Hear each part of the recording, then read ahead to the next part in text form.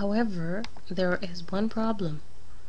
We are certainly missing some directive over here.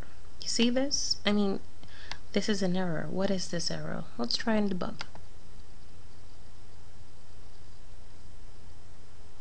Mm-hmm. Yeah, we know. Let's see what are the errors. No, we do not want to proceed. Okay, does not exist in the current context. Yes, we are indeed missing a directive.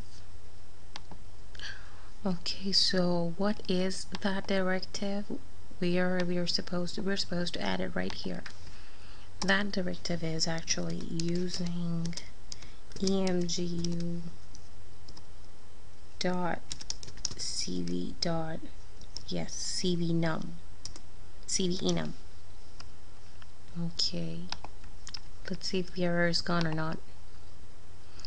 Oh hooray it's gone. See this? It's blue. Congratulations. So that means that our program is now ready to be debugged. Let's try this. Okay I'm going for the debug button now